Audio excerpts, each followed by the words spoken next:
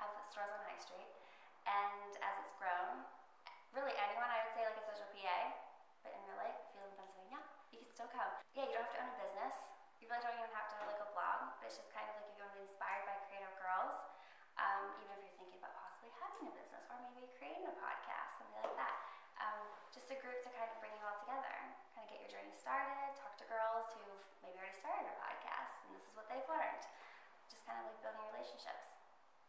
think she doesn't